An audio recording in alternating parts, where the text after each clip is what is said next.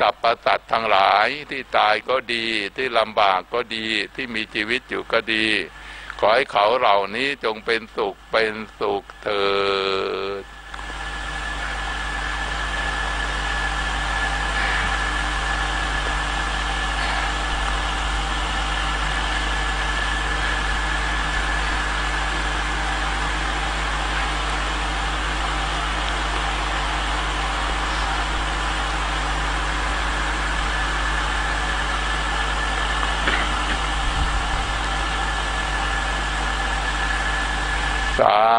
พิ ตาตาสารทั้งหลายที่เป็นเพื่อนทุกเกิดแก่เจ็บตาย ด้วยการหมดทั้งสิ้น เราอุทิศบุญกุศลของเราให้หมดอาเวลาจงเป็นสุขเป็นสุขเถิด อย่าได้มีเวรแก่กันและกันเลย อาโลคาจงเป็นสุขเป็นสุขเถิด อย่าได้มีความเจ็บไข้ลำบากกายลำบากใจเลยอาพยาปัจชาจงเป็นสุขเป็นสุขเถิด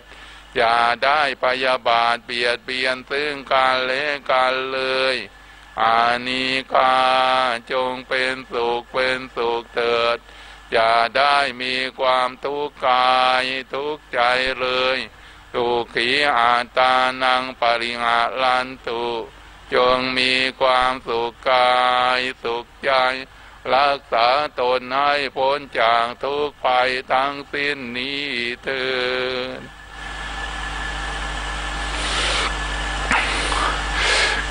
การปฏิบัติธรรมเนี่ย เราต้องทำจริง ๆ นะถ้าเราไปล้อเล่นเนี่ย นิวรณ์มันจะเข้ามาเนี่ยทำไมเขาทำไมพุทธเจ้าบอกทำวิตกวิจารทำปิติตกเอกาตา เอาทำไมถึงว่าถึงทำถึงฌานหรือปฐมฌานเมื่อเราจิตเป็นสมาธิแล้วเนี่ยนะจิตย่อมเห็นตามความเป็นจริง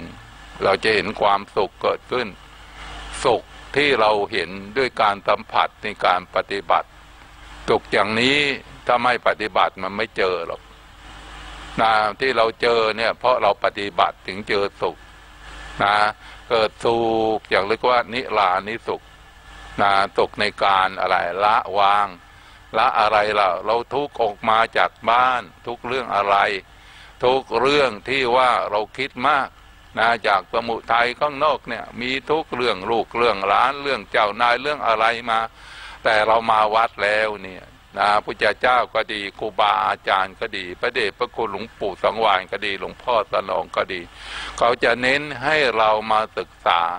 นะเนื้อหาสาระแก่นของศาสนา คือการมาพิจารณาก็เรียกว่าสร้างอะไรสร้าง สร้างสมาธิหรือสร้างสตินะเขาจึงบอกให้สติปัฏฐานสี่ให้รู้กายรู้จิต ถ้าเรามีสติเนี่ยเราจะรู้อะไรโยม เราจะได้ละอะไร ละอารมณ์ที่มันเป็นทุกข์นะรู้ว่ามันทุกข์เราเราละไม่ได้ มาฝึกแล้ว โอ้ที่ละของเราก็คือเอาจิตเข้าสมาธิทุกข์มันก็มาไม่ถึง นะถ้าเกิดว่าเรามาปฏิบัติแล้วมีสติอยู่ตลอดเวลา โอ้ ทุกข์เพราะอะไรเรื่องชาวบ้าน เพราะชาวบ้านมาเรื่องลูกก็ดี เรื่องหลานก็ดี เรื่องสามีก็ดี เรื่องภรรยาก็ดี ที่มันเข้ามาจิตใจเนี่ยเราเป็นทุกข์แก้ไม่ได้กายปัญหาไม่ออกเราอุตส่าห์มาเดินจงกรมมายืนสมาธินั่งสมาธิ เพื่อต้องการให้จิตมันเกาะอยู่ที่กายนะในสติปัฏฐานสี่เห็นกายเห็นจิตไหมมาจิตมันอยู่ที่กายพิจารณากายแล้วเนี่ยไอ้เรื่องลูกก็ไม่เกิดเรื่องหลานก็ไม่เกิด เรื่องอื่นก็ไม่เกิด พระพุทธองค์เนี่ยนาท่านไปปฏิบัติที่ดงพระสิริจะไหมหกปีเต็ม แต่การที่พิจารณาในหกปีเต็มนั้น พระพุทธองค์ไม่สำเร็จ เพราะว่าจิตมันไม่อยู่ที่กาย จิตนู่นไปหาใครเราโยมหาลาหุนก็ดี หายะโสตาราก็ดี หาตุโทธนะก็ดี หาประสาทสามฤดูก็ดี หรือหาราษฎรเมืองกบินพัทก็ดี กายอยู่ที่ถ้ำดงพระสริแต่จิตออกไปอยู่ที่วัง ออกไปอยู่ที่ลูก ออกไปอยู่ที่เมียไอ้ตรงนั้นเนี่ยจิตเลยไม่มาแต่แม้แต่ท่านก็นึกได้ว่าเคยปฏิบัติไม่เจ็ดขวบที่ใต้ต้นอะไรโยมใต้ต้นว่าจะแม้แรกนาขวัญ ท่านก็เลยเอาจิตมาพิจารณาลมเข้าลมออกปานานุตติ มาปานา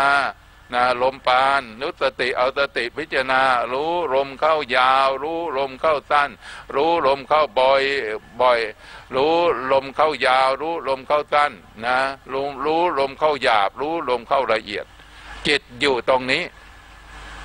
นะหรือท่านให้พิจารณากายไปนอกก็เห็นชัด เห็นอะไรเห็นผมขนเล็บฟันหนังนี่ชัดมันได้เห็นชัดยังไง เพราะเราเห็นทุกวัน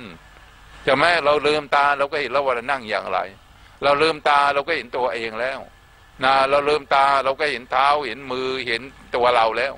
นั่นแหละเขาจึงให้เราเกาะที่ตัวเราเนี่ยให้รู้ชัดเห็นชัดเห็นกายไปนอกเขาเรียกว่าเกสาโลมานักขาตันตาตะโจตะโจนักขาตามักเกสาโลมา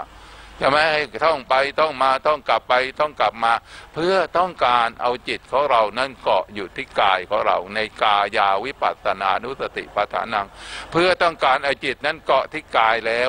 จิตมันจะได้ไม่ไปคิดเรื่องที่เป็นทุกข์มันจะได้ไม่เอาเรื่องทุกข์มา ถ้าเราเกิดว่าเราไม่คิดเนี่ยเราก็เป็นทุกข์จิตมันร้อนอะ พระก็บอกว่า ทางวิตกวิจารนิยมนะ เห็นใบหน้า เราลักษณะอย่างงี้อย่างงี้เราก็ไปหาใครก็ไม่รู้นั่งงุกงิกงุกงิกแบบหยับไปก็หยับมาอะไรไม่สนใจที่พระพูดเลย ไปอย่างอื่นทั้งหมด มันจะสงบได้ไงเพราะใจมันร้อนใจมันไม่มีที่เกาะใจมันไม่มีที่หลัก ที่หลักของเราก็คือกายพระเจ้าบอกกาย ผมเห็นไหมขนเห็นไหมเล็บเห็นไหมฟันเห็นไหมหนังเห็นไหม ฝันเห็นไหมที่บอกนี่เห็นไหมไม่เห็น เพราะเราไม่เจอเราไม่เห็นแล้วมันก็ร้อนแต่มันเย็นเนี่ยมันเย็นไม่ได้ เพราะเราไม่เห็น เพราะเราไม่สนใจ เราไปสนใจอย่างอื่น เมื่อสนใจอย่างอื่นมันก็ไปโอ้ไม่สงบเลยเสียงดังมั่งอะไร ไม่ใช่สมาธิคือสติ เดี๋ยวอาจารย์จรันมาก็พูดเรื่องสติ สติปฐานสี่ไม่ใช่สมาธิสมาฐานสี่แต่สมาธิผลได้จากสติสติรวมเป็นหนึ่งเป็นสมาธิ ใช่ไหมถ้าสติแตกสมาธิเกิดขึ้นได้ไหม ไม่ได้นะไหมถ้าถ้าสติแตกใจมันร้อนสมาธิเกิดได้ไหม ไม่ได้ ต้องสติเป็นหนึ่งจิตนั้นเย็นจิตเย็นนั่นแหละสมาธิมันถึงจะมานะดังนั้นการปฏิบัติเนี่ยเราก็ต้องอาศัยเนี่ยขนขวายเพื่อประโยชน์ของเองนั่นตัวเอง เพราะนิวรณ์มันมาตลอดเวลาเนี่ย โอ้ยเคยนั่งสงบวันนี้ไม่สงบเลย ก็ปล่อยใจมันจะสงบได้ยังไงอะถ้าเราไม่ปล่อยใจที่เมื่อวานสงบวันนี้สงบไม่ได้ เพราะเราปล่อยใจ ถ้าเราไม่ปล่อยใจล่ะ เรามาตั้งใจในการปฏิบัติ เหมือนเมื่อวานใช่ไหมบอกสปายะไม่ดีสปายะไม่เรียบร้อยวันนี้คิดมากอะไรมาก มันไม่เกี่ยวกับสปายะมันเกี่ยวกับว่า ใจเราตั้งใจปฏิบัติจริงไหม มาเรื่องของนอกก็เรื่องของนอกเรื่องของในมันก็เรื่องของในถ้าเราตั้งใจมันสงบไม่สงบเนี่ยเราก็พิจารณาผมลักษณะอย่างไร นั่นลักษณะให้มันอยู่ที่เส้นผมแล้วกัน เห็นที่อยู่ที่หน้าผากแล้วกัน เห็นที่คิ้วแล้วกัน เอาความรู้สึกจับคิ้วแล้วกัน มันจะฟุ้งมันจะร้อนจะอะไรก็เรื่องของเขา เราทำวิจารณ์เนี่ยวิจารณ์ที่อะไรหน้าปากก็เรา ทำวิจารณ์ในตาของเราทำวิจารณ์ตมูกของเราทำวิจารณ์ปากของเราความวิจารณ์ในฟันของเรา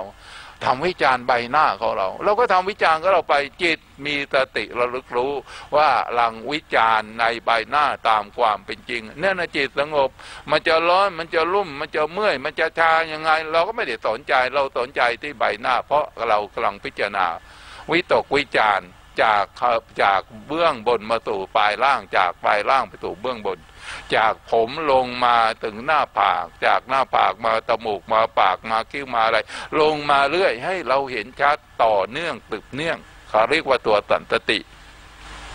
เมื่อตัวสันตติตรงนี้เกิดขึ้นแล้ว ไอ้ตรงนั้นเนี่ยเขาเรียกว่าบุญตรงนั้นเรียกกุศลนะไม่ใช่บุญมานุ่งขาวอมขาวไม่ใช่ คนอื่นก็นุ่งขาวไม่ใช่เอ๊ะเบยนี่นุ่งขาวผมขาวได้บุญจริงนี่คนที่สีมาเนี่ย สีเขียวสีแดงเนี่ยเขาก็ไม่ได้บุญนะสิแต่นุ่งขาวองขาวถ้าใจมาร้อนมันก็ไปไม่ได้ใช่ไหมบุญก็เกิดไม่ได้ แต่ไอ้นุ่งเขียว นุ่งแดง นุ่งลายดอกอะไร ถ้าใจมันเย็นเขาก็ไปบุญนั่นก็ได้บุญเรากลับไม่ได้บุญ เพราะอะไรล่ะ เพราะว่าอาวิชามันบัง เมื่ออวิชามันบังแล้วนะความเย็นมันก็ไม่พอ นะความร้อนมันก็เข้ามา นิวรณ์มันก็มาสิงใช่ไหมทีนี้เรามาการปฏิบัติเนี่ยเพื่อตั้งการเราจะดับความร้อนไฟร้อนไฟความหลงไฟความโกรธไฟความรูปเรานี้มันเป็นอารมณ์ไหลมาตัวจิตก็เรียกว่าสมุทัย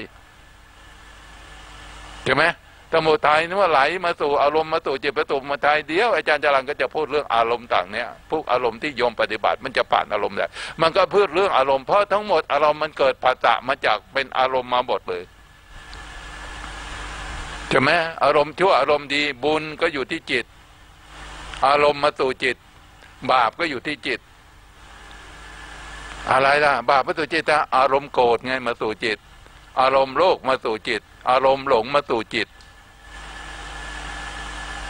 โลภโกรธหลงมาสู่จิตนั่นแน่เป็นอารมณ์ที่เรียกว่าอารมณ์บาป เมื่อจิตของเราไปเนี่ยกายของเราไปเผา แต่จิตมันไม่ได้ไปเผา จิตมันจะไปรับบุญรับบาปของเรามันต้องไป ถ้าเราไม่ฝึกเราไม่ปฏิบัติเราไม่เอาเนี่ยเห็นแต่สะดวกสบายเห็นแต่ความพอใจ มันจะไม่ได้อะไรเลย มันจะไม่ได้อะไรเลย มันจะได้ยังไงล่ะ เพราะใจมันไม่เย็นเลยอะใจมันร้อนอะ มันไม่เอาอะ มันไม่เอาแล้วปั๊บเนี่ย มันไม่เอาบอกเฮ้ยมันไม่เป็นไรหรอกมันยังไม่เป็นตีก็พระเจ้าก็บอกว่าทำมาเป็นอนิจจังมันไม่เที่ยง คือตอนเนี้ยมันสบาย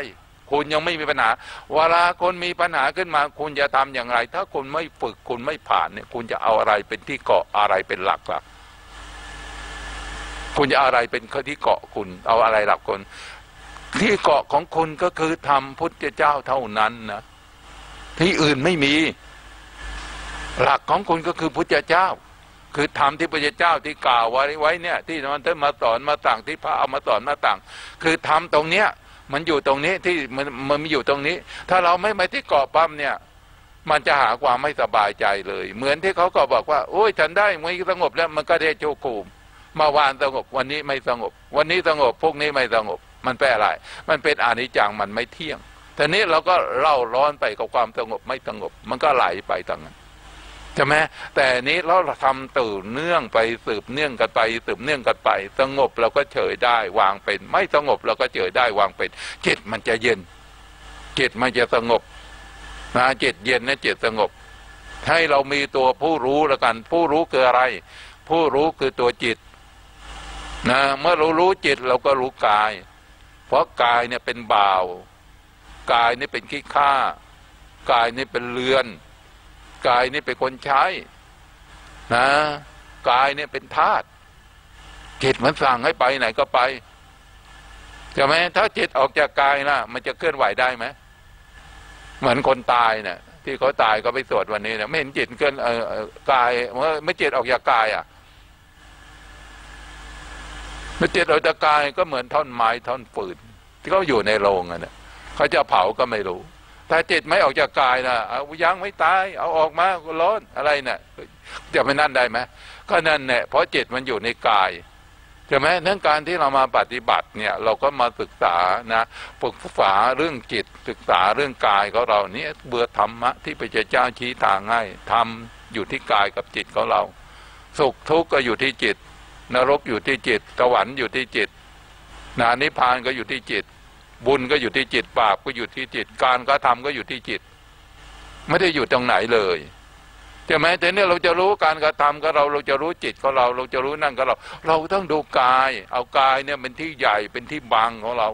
เป็นที่ศึกษาดีชั่วในการกระทำของกาย เมื่อเราการของกายดีชั่วขึ้นมา เมื่อเราทำดีนั่นแหละคือศีลพูดดีทำดีนั่นคือศีล เมื่อเรามีศีลพระพุทธเจ้าท่านก็อารันตีให้ท่านรับรองให้ รับรองยังไงอะ ท่านพูดไว้ชัดว่า สีละตุกติงยันติ ศีลนั่นแหละทางแห่งความสุข ท่านพูดไว้ชัดแจ้ง สีละโพกสัมปทา ศีลนั่นแหละคือเป็นอายทรัพย์นะท่านพูดไว้แจ้งเลยนะสรุปศีลเนี่ยตอนนั้นการที่เรามาเนี่ย เพราะเราจะเนี่ยดีกายสงบกายเนี่ยจิตเท่านั้น ทีนี้เราจะรู้จิตนะสติเท่านั้นสติคุมจิต ให้รู้ชัดว่าจิตคิดดีคิดชั่ว คิดดีนะ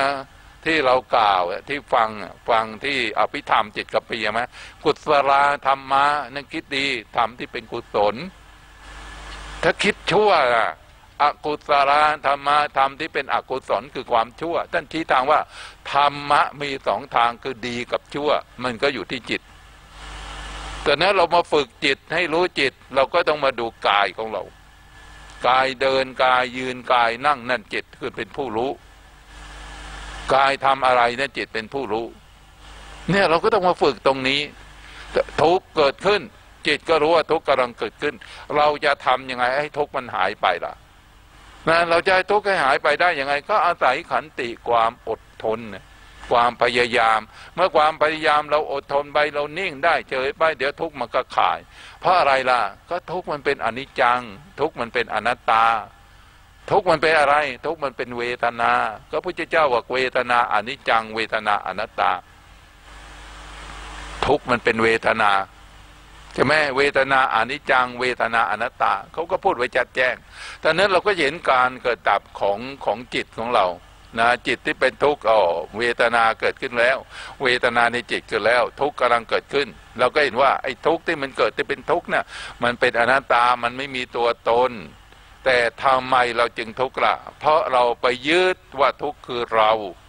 แต่ทุกข์คือกันห้าตัวยึดคืออะไรโยม คือตัวยึดก็คืออุปทาน อุปทานนี่เป็นตัวทุกข์แต่นี่เรามีอุปทานปั๊บมันก็มีตัณหาคือความอยาก อยากอะไรโยม อยากหายทุกข์อยากจะได้สุขทำไมทุกคนอยากจะมีสุข อยากจะหายทุกข์นี่คือตัณหาแล้วใช่ไหมนี่เรามาดูจิตเห็นจิตกันเนี่ย เราก็จะเข้าใจเลย โอ้ไอความอยากมาจากจิตนะไม่อยากจะมาจากจิตปั๊บเนี่ยอยากจะสุขคือมาจากจากจิตเนี่ย เลยก็ไปยึดมาเมื่อไม่ยึดไปปั๊บก็ไปทุกข์เลยยึดอะไรล่ะ ยึดรูป ยึดเวทนา ยึดสัญญา ยึดสังขาร ยึดวิญญาณ ยึดขันห้าจึงเป็นทุกข์นะยึดขันห้าจึงเป็นทุกข์ใช่ไหมแต่นี้เรายึดขันห้าเป็นทุกข์ตรงนี้เนี่ยให้เรารู้โอ้ที่เราเป็นทุกข์นี่เพราะขันห้าเป็นทุกข์นี่เพราะกาย เป็นทุกข์นี่เพอจิตกายคืออะไรพระเจ้าบอกกายนะเราก็ไม่ใช่เขาก็ไม่ใช่ ตัวตนก็ไม่ใช่ อ้าวเราไม่ใช่เขาไม่ใช่มันเป็นใครล่ะ เป็นธาตุเอ๊ะ ไม่ใช่เราไม่ใช่เขาแล้วธาตุมาจากไหนธาตุเนี่ยพ่อให้มา แม่เลี้ยงมา พ่อให้มาเนะอะไรอาการยี่สิบจะแม่แม่มีอาการสิบสองเรียกว่า เรียกว่าอาการสามสิบสองกายภายนอกกายภายในเรียกว่าอาการสามสิบสองพ่อไม่ให้มา นะพ่อแม่เป็นผู้ให้มาธาตุดินยี่สิบนะธาตุน้ำสิบเอธาตุน้ำสิบสองเป็นอาการสามสิบสองก็เรียกว่าอาการสามที่ร่างกายภายนอกและกายภายในก็เรา ให้เรารู้เราให้เห็นตามความเป็นจริงไอ้นี่ก็ดูอาการของเราว่าเห็นความเป็นจริง แต่นี้เมื่อเราเห็นอาการความเป็นจริงปั๊บเนี่ยเมื่อเราเห็นท่าปั๊บเนี่ยให้เราพิจารณาตรงนี้ก็เรียกว่าเราพิจารณาตรงนี้ว่าเนี่ยมันไม่ใช่เรา มันไม่ใช่เขา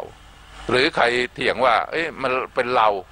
จะไหมดูที่น่ะหน้าตาคล้ายไก่เพศเหมือนไก่หน้าเหมือนพ่อจมูกเหมือนพ่อ หน้าตาเหมือนแม่ ปากเหมือนแม่ หน้าหน้าใบหน้าเหมือนแม่ ผิวเหมือนแม่นิสัยเหมือนแม่ เพศแม่อย่างเงี้ยเราก็จะเห็นเลยไม่อาการเนี่ยมีพ่อกับแม่ ที่ปนกันอยู่เนี่ยอาการภายนอกนะผมยาวเหมือนแม่ ผมดำเหมือนแม่ นะ แต่เดินเหมือนพ่อนะ นิสัยนิสัยดุเหมือนพ่อ นักเลงเหมือนพ่อนะอ่อนโยนเหมือนแม่อะไรอย่างเงี้ยมันก็จะออกมาพ่อกับแม่อยู่ตลอดเวลานี่คือเป็นอาการอาการที่ว่าพ่อแม่มานี่คือธาตุแล้วทำไมขันห้ามาจากไหน เพราะขันห้ามาจากกรรม เรามีกรรมจึงมาเกิด เมื่อเกิดแล้วต้องมีขันห้าคุณจะมาเกิดเป็นมนุษย์ก็ดีจะเป็นสัตว์ตีเรือจานก็ดีเป็นขันห้าทั้งนั้นเนี่ยขันทำไมตัดเดจานคืออะไร เวทนาคือขันห้าทุกไงเกิดมาเป็นทุกข์ ทุกอะไรเกิดมาเป็นทุกข์ไอสัตว์เดรัจฉาน มนุษย์สุขบ้างทุกบ้างใช่ไหมเลิกเทิงได้ แต่สัตว์เดรัจฉานเรียกเลิกเรียกทางเดินไม่ได้ นะ มันไปตามกรรมใช่ไหมเพราะกรรมเขากำหนดให้มา แต่นี้เราบอกเราไม่อยากจะเกิด เมื่อเราไม่อยากจะเกิด เราก็อย่าไปสร้างกรรมติเราสร้างกรรมกุศลในกรรม แล้วอย่าอย่าไปยึดกรรมนะดูจิตของเราดูอารมณ์ของเรา อารมณ์ที่ไหลมา เขาจึงบอกว่าเรามาสร้างสติให้จิตช่วยกายเนี่ยเพื่อต้องการรู้ทันเห็นกับอารมณ์ที่เข้ามาสู่จิตก็เรียกว่าสมุทัยรู้อารมณ์ที่เข้ามาเนี่ยเมื่อตายอยู่รูปเนี่ยเป็นอารมณ์เข้ามาแล้วเกิดผัสสะเกิดอารมณ์ก็เราเกิดเวทนา เป็นอารมณ์ก็มาแล้วหูได้ยินเสียงเนี่ยเกิดอารมณ์เข้ามาแล้ว เกิดอารมณ์เข้ามาไงลมที่เข้ามาสู่หูเนี่ยชอบก็เกลียดมันมาสู่หูเนี่ย หูได้ยินเสียงก็มันก็มาสู่หูเนี่ยเดี๋ยวแม้ตาเห็นรูปเนี่ย มันพอใจไม่พอใจมันเยอะเห็นแล้ว เป็นอารมณ์ที่ไหลเข้ามาเลยใช่ไหมลิ้นได้กระทบรสรู้สึกว่ามันเค็มมันหวานเราอร่อยชอบ ไม่ชอบมันขมเนี่ยมันมันบอกมาเลยเนี่ยมันเป็นอารมณ์เข้ามาแล้วตอนนี้อารมณ์ที่ไหลเข้ามาเนี่ย ให้เรารู้ตามกับอารมณ์มันชอบเกลียดอย่างไร แล้วเราจะทํำยังไงเมื่ออารมณ์เข้ามาแล้ว นะพุทธองค์ หรือครูบาอาจารย์ก็บอกรู้อารมณ์อย่างนั้น เราอย่าไปยึดมั่นเราก็วางมันซะวางทำไมรู้แล้ววางมันซะพราะเราไปยึดมาเราก็จะไปต่ออารมณ์เหล่านั้นอีก อารมณ์สุขอารมณ์ทุกข์อารมณ์พอใจ อารมณ์ไม่พอใจ อารมณ์ราคะอารมณ์โทสะอารมณ์โมหะนะอารมณ์เรามาตอนเหล่านี้จะแม้เราทำให้อารมณ์เหล่านี้ให้มันแจ้ง แล้วก็ละมันซะวางมันซะรู้ละละรู้ละวางไม่ยึดมัน ยึดมันเป็นทุกข์เพราะอุปาทานตัวยึดเป็นตัวทุกข์ทั้งก็พูดอยู่แล้วอยู่ไหมแต่นั้นก็อุปาทานเป็นตัวทุกข์เนี่ยเราก็ต้องมาศึกษาเรื่องทุกข์ของเราเนี่ย ที่ศึกษาเรื่องอุปาทานเนี่ย ศึกษาเรื่องกายเนี่ยกายเป็นทุกข์จิตเป็นทุกข์เราก็มาศึกษาให้มีความรู้ชัดและเห็นชัดในทุกข์อันนั้น เมื่อเราเห็นทุกข์ว่า โอ้เกิดมานี่มันทุกข์เนาะเมื่อคือตรงว่าเราจะได้ไม่เกิด เราได้ศึกษาธรรมให้เห็นธรรมรู้ธรรม จะแม้เมื่อรู้ธรรมเห็นธรรมเราได้ได้ละ รู้ละละ รู้ระวาง รู้ธรรมเห็นธรรมใช่ไหมธรรมะอยู่ที่ไหนล่ะธรรมะอยู่ที่เกิดขึ้นตั้งอยู่ดับไปธรรมะก็อยู่ที่ปาตายรักนะเกิดขึ้นตั้งอยู่ดับไป เกิดแล้วดับ มีอะไรที่เกิดไม่ดับไม่มีในโลก เกิดแล้วดับทุกคนนะจะมีสิ่งที่มีชีวิตก็ดี ไม่มีชีวิตก็ดี จะเป็นอิฐเป็นตัวหนอนเป็นอะไรต่ออะไรนะมันเกิดดับหมดอะ มันมีตัวหนอนอีกร้อยปีมันก็พัง มันก็หาดไปเป็นดินไปอะไรไป เป็นสภาพของมันเป็นสภาวะของมันไปอย่างนี้นะเกิดขึ้นตั้งอยู่ดับไปไปลายลักมันเกิดขึ้นเป็นอย่างนี้ เพราะเราหนีไม่พ้นใช่ไหมสิ่งที่สิ่งไม่พ้นอย่างนี้ เราจะยึดอะไรล่ะ มันก็อยู่ในวัฏสงสารอยู่เนี่ยเพราะเราไปยึดมันแต่นั้นเราถ้าละมันได้วางมันได้กรรมมันก็ไม่เกิดจะไม่พระเจ้าบอกว่าทุกสิ่งอย่างเกิดเหตุเมื่อเหตุดับทุกสิ่งอย่างก็ดับ เหตุมาจากอะไรเหตุเรายึด นะเมื่อเราเลิกยึดมันก็ดับนะแต่นั้นการปฏิบัติธรรมเนี่ยขอให้เราทำแล้วพิจารณาปัญญาเราได้เกิดดังนั้นถ้าเราไม่พิจารณาแล้วปัญญามันเกิดไม่ได้ถ้าสติไม่ดีปัญญาเกิดไม่ได้ อวิชามันก็บังเราอยู่นั่นแหละนะแต่นี้เมื่อเรามีสติแล้วสมาธิมันมาเอง ทำไมสมาธิมาเองอะเพราะจิตตั้งมั่นอยู่ในอารมณ์ มีสติมีความต่อเนื่องในการพิจารณา จิตมันตั้งมั่นอยู่ในอารมณ์สมาธิจิตมันไม่วอกแวกจิตไม่แบบจิตเป็นหนึ่งเดียวในอารมณ์ที่เราพิจารณาอยู่นั่นแหละสมาธิจิตตั้งมั่นอยู่ในอารมณ์ อารมณ์เดียวสมาธิคือติดตั้งมั่นอยู่ในอารมณ์เดียว อารมณ์อะไรอารมณ์ภายในของเราอะ ใช่ไหมเหมือนลมเข้ารู้ชัดลมออกรู้ชัดว่ายาวมันสั้นเนี่ยจิตมันตั้งมั่นว่ามันรู้ชัด ถ้าจิตไม่ตั้งมั่นมันจะรู้ชัดไหมลมยาวลมตั้นลมค่อยลมหยาบลมละเอียดมันจะรู้ไหมมันก็ไม่รู้อีก ใช่ไหมเพราะจิตมันตั้งมั่นมันจับลมจึงรู้ว่ามันยาวมันสั้นมันเบามันหยาบมันละเอียดยังไง เรารู้ตรงนี้นั้นการปฏิบัติธรรมเนี่ยขอให้เราทำไปเถอะพุทธเจ้าจันทีต่างมักถูกแล้ว ปฏิบัติถูกแล้ว แต่โดนนิวรณ์นิดๆหน่อยๆเราต้องสู้เราจะไปถอยมัน ถ้าเราถอยเราแพ้ก็เรียกก็เรียกว่าอะไรล่ะ จิตเราร้อนแล้ว มันไม่เย็นนะจิตมันร้อนมันทนไม่ได้นะเล่าร้อนฟุ้งซ่านมันอยู่ไม่ได้แล้วต้องไปนะจิตมันร้อน นะจิตมันมีตังนอกนะมันไม่มีธรรมอยู่ในใจกูได้เวลาไปล้วไม่เอาเสียเวลานั่นจิตว่าเล่าร้อนมันมีอยู่ไปนาอยู่แล้วมันมีโอกาสมันก็ไปเลยใช่ไหมเพราะมันไม่มีตัวเย็นขึ้นมา ถ้ามีตัวเย็นขึ้นมา เราก็ต้องพิจารณาวิเคราะห์ พิจารณาขึ้นมา แล้วปัญญามันก็เกิด เมื่อปัญญาเกิดแล้วมันก็จะปล่อยวางได้นะมันจะปล่อยวางปัญญาเป็นจะผู้ปล่อยวางได้ว่า สิ่งเรานอนไปไปสิ่งที่ร้อนนั้นเป็นทุกข์กับพุทธเจ้าก็บอกอเสวนาจะปารานังบดินาอเสวนาเอตมังคารมุตตมังเสวนาคืออะไรล่ะ อย่าคบคนพาลจิตที่ร้อนจิตที่เป็นกิเลสนั่นเราอย่าไปคบมันอันนั้นเนี่ยจิตเราร้อนชบบัณฑิตล่ะพุทธเจ้าบอกให้คบบัณฑิตบัณฑิตคืออะไรคือความใจเย็นไง